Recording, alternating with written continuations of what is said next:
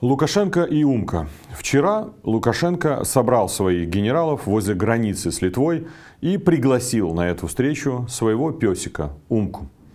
Лукашенко э, фактически унизил всех тех, кто стоял перед ним. Генералы, которые докладывали ему, откуда на Беларусь готовится нападение, ну якобы, как мы понимаем, с территории Литвы, Докладывали сидящему старику, на коленках у которого сидела беленькая пушистенькая собачка.